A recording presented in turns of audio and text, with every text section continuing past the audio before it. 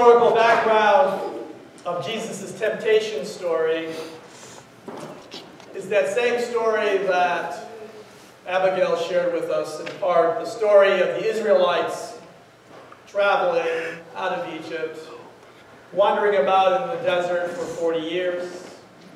And so Jesus is, is, is in that shadow, if you will, in that backdrop after his baptism and filled with the Holy Spirit, led by the Spirit, he goes out into the wilderness. And for 40 days, Jesus is tempted by the devil. We, we hear the three separate temptations, but for 40 days, Jesus was being tempted. And we don't even know how many times that he was confronting the powers that were trying so desperately to pull him off track. The gospel writer tells us that Jesus was starving. Starving. Not just hungry, that he was starving. Being hungry was also the problem of the Israelites, what got them in trouble. And they were tempted in all different directions. You might remember that at one point the Israelites that were grumbling against Moses and Aaron, and they said, and right there in Scripture it reads, If only we had died by the Lord's hand in Egypt, there we sat around pots of meat and ate all the food we wanted. But you, O Moses, you have brought us out here into this desert to starve us, this entire assembly, to death. Hmm. You can tell at that point these hungry Israelites were being tempted. And what had taken control of them was their stomach. They were thinking way back to the oppression they were living under in Egypt. They could have at least had something to eat if you left us there to die, Moses, instead of taking us out. I can relate to being hungry. I cannot relate to being one who is starving. But I'll tell you that I'm not my finest when I'm hungry. Right? All of us are probably like that. Some of us are a little bit more sensitive to, to hunger than others. But when I'm hungry, I can tolerate it for a while, but uh, after a while, I get a little cranky. I want something to eat. Maybe it's my sugar levels. I don't know what it is. Maybe it's just my being spoiled, being used to being fed and, and, and taken care of. I can't imagine for fasting more than a day. I've only fasted for 24 hours. I have not fasted for longer than that, but I've been told that it gets easier when you fast longer than 24 hours. But I do know that it changes who I am. So Jesus, in his physically weakened state of hunger, he's being tempted on a daily basis. And we need to pay attention to that for ourselves, a daily basis. The powers that seek to bring us outside of the path of God's will are not part-time. Some say 24-7. It's just ever-present. This is the world that we live in. The powers are, are, are tempting us on a daily basis. And, and every day the devil for Jesus is trying, is trying to get him to reject the way that God has set for him. That's all the devil wants to do. Come on to my side, do good things. You can be a good person, but just come on over to my side. The devil is trying to undo God's work. And as Eugene Peterson writes in one of his books, the devil is the ultimate disincarnation. Incarnation, of course, is Jesus Christ in human form, right? God comes in human form, born into human form, lives into human form. Well, the devil is the disincarnation. If you want to know what, what, what the opposite of incarnation is, the devil is disincarnation. Everything but God in human form. In other words, the devil is the complete opposition to God. The devil does not want to have us in any way connected to the will and the way of the God that we know and love. The God, well, let me say this, the, devil is no slouch when it comes to good ideas, so the devil's always thinking of, of sharp possibilities and ideas and notions that would, would pull us away from the God we love and know. The devil, this morning, is even a scholar in terms of Scripture and has memorized Scripture. So we say the devil works 24-7 at getting us to detour off the Jesus way. Get us to detour off the Jesus way. And one of the devil's creative detours is, is working the soil of the heart by planting seeds of doubt. Jesus in the parable of the sower talks about the different types of soil that the word is thrown out to. You know the, story uh, where the, the soil is, is not always prepared for the seed. Sometimes it's, it's not harrowed deep enough, and sometimes it's a hard path, and sometimes it's a place where the birds pick it up. And, but there are places where the soil is prepared and it, that seed takes hold and the harvest is just unbelievable. Well, I can imagine, and maybe you too can, can imagine that the devil works the same soil. As a matter of fact, if you go back to this parable and you read it carefully, you find out that the seed only takes hold 25%. Three types of soil do not produce any harvest. The good soil that does produce harvest is an incredible harvest, a harvest that would probably take to replace all those failed attempts. But, but my point here is to notice that, that somehow that word doesn't take hold in three quarters of the soil. And so I imagine that maybe the devil is working the same soil, and if you, if you look at the percentage in terms of where the seed actually takes hold, the devil's doing better. That's the power. 75% of that soil doesn't produce. 25 does, but it produces a, such a bountiful harvest. The seeds of the gospel only take hold in good soil. But friends, the seeds of doubt take hold in any soil. But remember always, when the seeds of the gospel take hold, they produce a harvest that is unbelievable. After finishing every temptation, the scripture tells us, the devil departed from Jesus until the next opportunity. I don't really believe that the devil had to wait very long for another opportunity. At least the powers that I know, they're always knocking at my door. I don't know about you. I know from my own personal experience that opportunities abound for the devil to do the devil's. The powers of evil to do the powers of evil's work. The powers that want to separate you and me from the love of Christ, they're always available. The effort to undo God's work is happening all the time. All the time. Scholar N.T. Wright defines sin. This is what we're talking about sin. He defines sin in his book titled Evil and Justice of God as the rebellion of humankind, I quote, the rebellion of humankind against the vocation to reflect God's image in the world.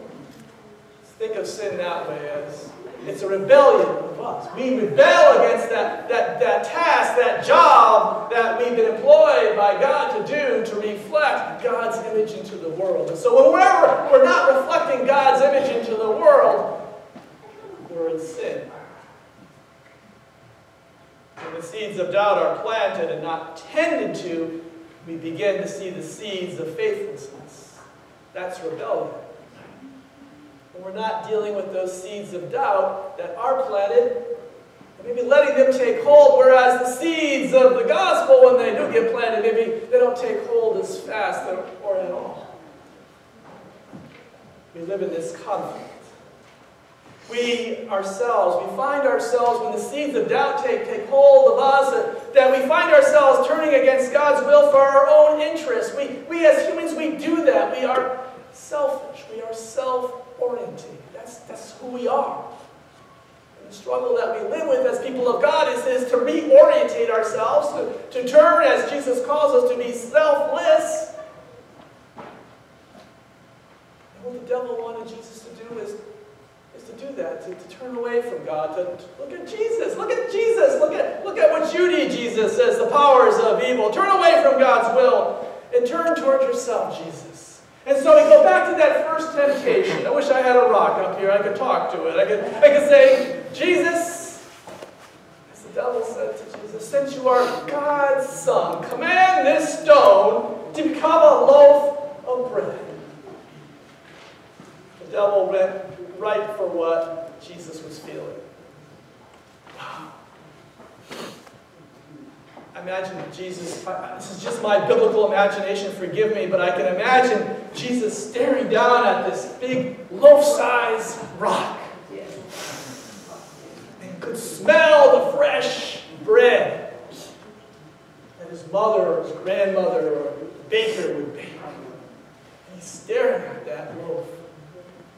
Maybe that, that rock, even in, a, in his hunger, in his, in his starvation, he, he starts to hallucinate a little bit and sees that, that, that loaf of bread starting to rise up. And oh, he can start to taste it. He can say, oh, it's going to be so good. And he stops.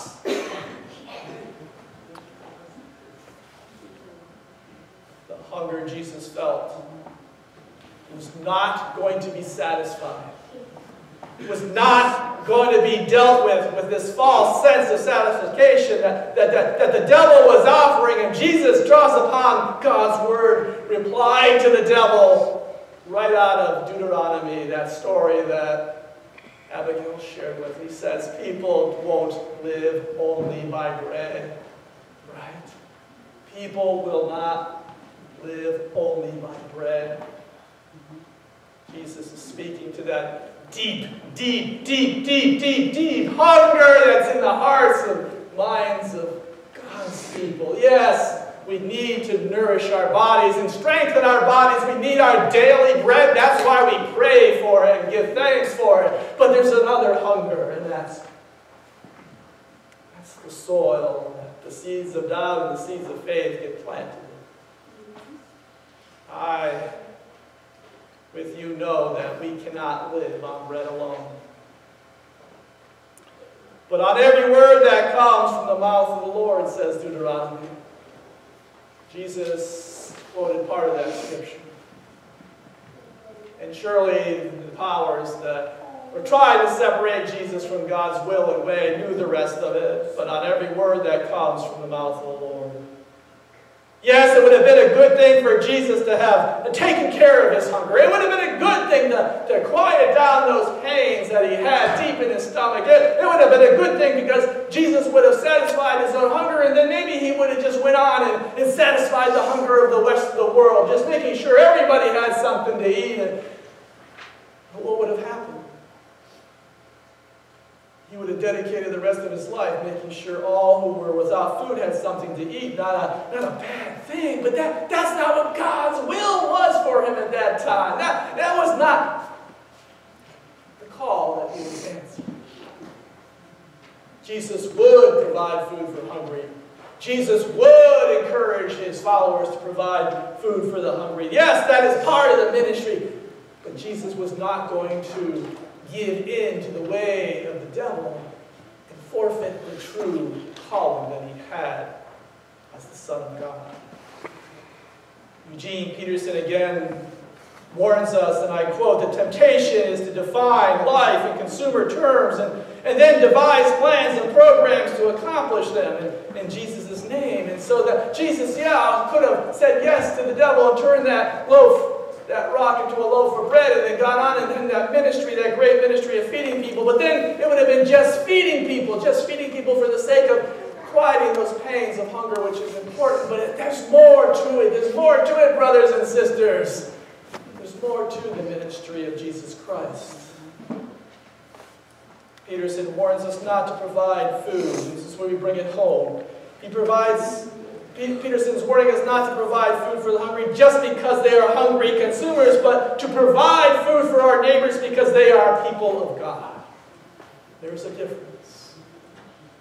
When we serve the hungry as consumers, we become nothing different than a provider. Nothing different than a provider. We, when I say we, I, I, say that in the context of the church, the body of Christ. When, when we simply provide food to the, the hungry and we, we look at them as consumers, as those who come to just eat food, just to fill their, their stomachs, we, we become nothing different than a, than a good. And I'm not criticizing those who provide food for food's sake. That, no way am I criticizing. It's important. It needs to be done. But the church has a different role and a different job, and a different call, a different purpose. You see, that's what the, the devil is trying to get Jesus to pull out of that, that place where God had called him to be, a different purpose, a different being, a different uh, a, a Messiah, Savior, trying to get him to become a provider of sorts, and to step away.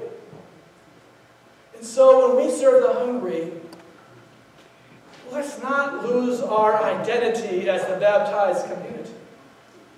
And when we look at those in need as an opportunity to feed them, we must not stop saying, oh, this is great, you've come to have a meal. We say, this is great because you have come to have a meal and it has given us an opportunity to meet Jesus.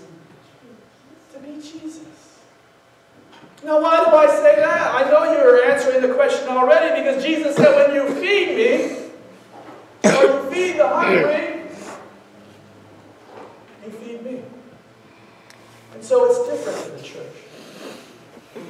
It's different for us to be providers of food as well as people of faith. And we, the church, must not be tempted by the many needs that must be met in the world. We can be tempted by all the different things, all the different ministries that we're called to participate in. They're all good ministries, they're all good projects, all the community efforts.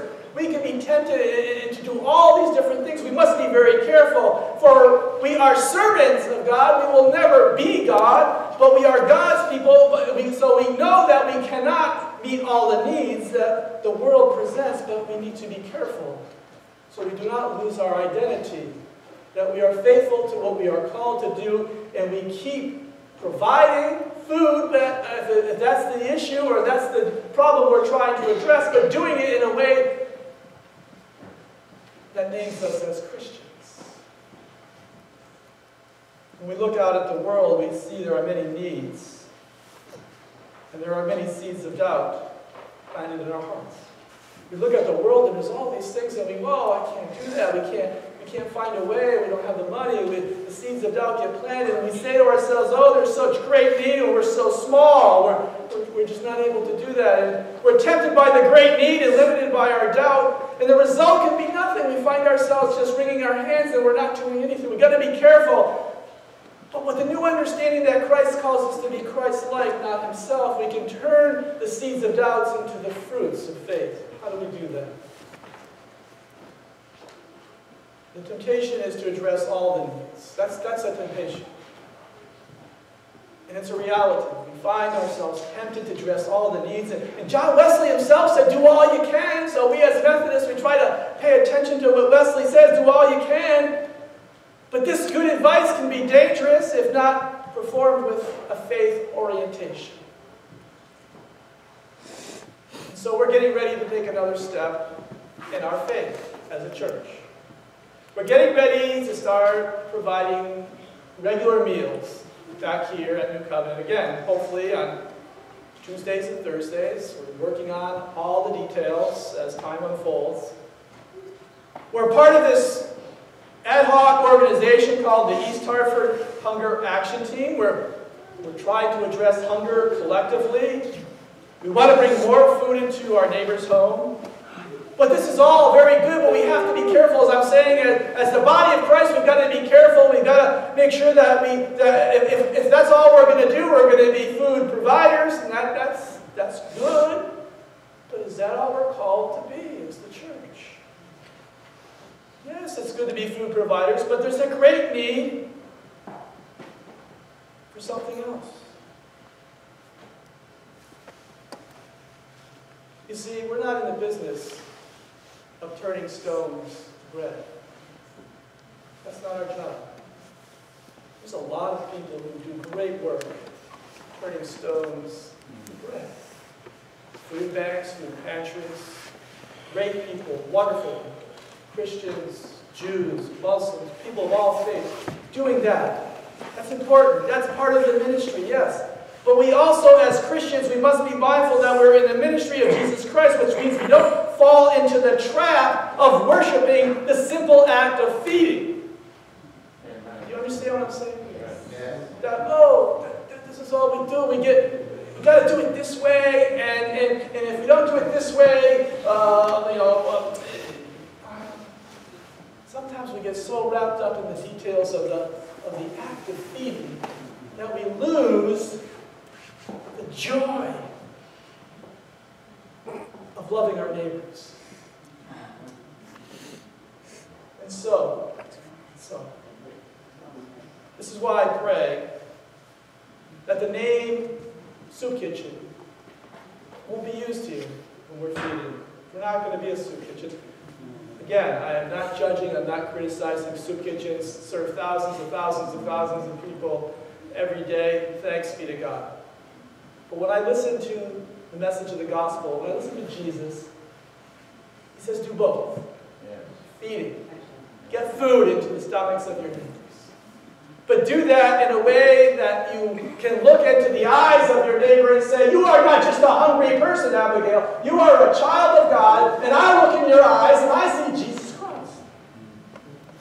And if I see Jesus Christ, I'm going to behave in a much different way than if I look at you and you are simply a hungry consumer. Don't get me wrong, we need these kitchens. But we also, we also, we also need to remind ourselves. We need to be the church. In all that we do, in all that we say.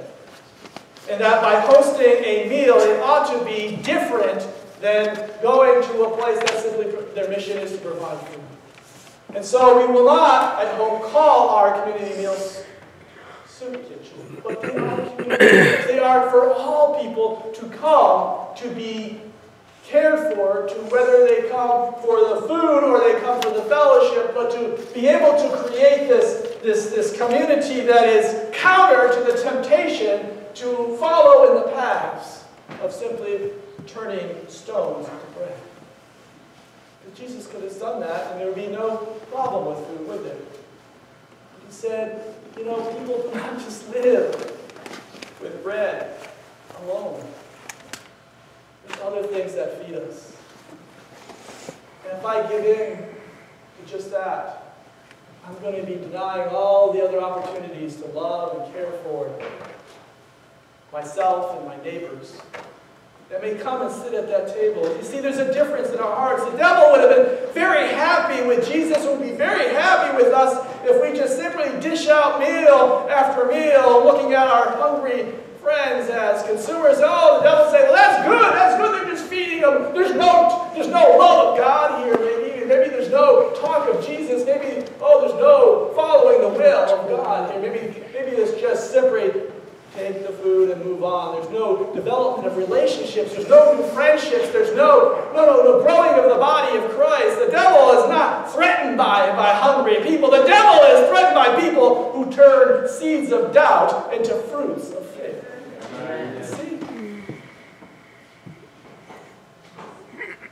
People who see and accept opportunity to do God's will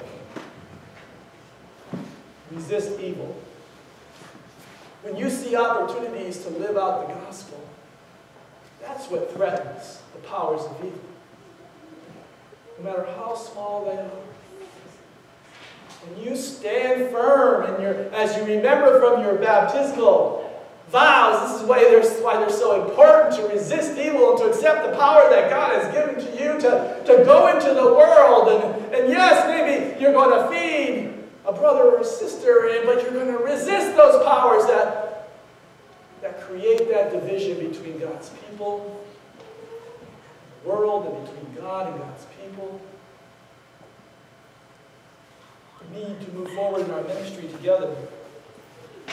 But as we move forward, we, we must pay attention. Even though the, a lot of our partners they're, they're wonderful partners, and, and, and, and they, they, they, expect a lot of the church, and they expect a lot of New Covenant, and, and, there's things that, there's forms to fill out, and there's, there's grants to be applied for, and, and, and before you know it, you're wrapped up in all this important work that allows us to do good work. But, but please pray for our hearts and our minds and our souls that we don't forget who we are. Amen. That we don't forget who we are. Because I tell you and I will guarantee you, and it may be when I'm here or I'm not here, there'll be someone coming to you and you'll be tending to the important ministry of feeding, and someone will come to you and say, You know what? I've been coming here for three years. I know this is a church. But I've been here hungry for something else. And I just don't understand. I've been here for all these meals, and, and no one said to me, Are you hungry for anything else? Have you ever thought about coming here on Sunday morning? How is it with your soul? I'm not asking everyone to be evangelists. I'm only asking you to be a Christian, to pay attention. And for myself, talking to myself, you know, 95% of the sermons that I preach are to me, so pay attention. Look into the eyes, the person you're having a meal with, you're sitting with, you're serving. You see Jesus? Do they see Jesus in you? Or are we about changing stones into bread? It's hard. Some days we'll be tempted and we'll be so busy changing stones into bread we'll forget who we are. That's why I'm, asking you to remember who you are. Because this ministry is going to keep unfolding in new, powerful ways. But no matter what happens, everything that we do is in the name of Jesus Christ. Everything. You might not say that with every scoop of mashed potatoes or whatever, but everything we do, with every bagel that goes out, every loaf of bread, every vegetable, whatever it is that we're doing, we do it in the name of Jesus Christ, and we do that because that's what we're called to be a people who walk a certain path, go in a certain direction, believe in a certain future, have hope in a cross, because there's something beyond the highest pinnacle in Jerusalem. There's something beyond all the kingdoms of the world. There's something beyond. And that's what we hope for and wait for and expect. And something beyond is eternal life. That's why Jesus came to be with us, to show us a new way to live in preparation and to encourage others to, to feel the love and the depth of, of what Christ has to offer so that they will come and to live into that hope and freedom. It's transformative. It's a holy, transformative power, guided by the Holy Spirit and fueled by God's life-giving Spirit for us to take into the world. We are so equipped, but let us not forget who we are.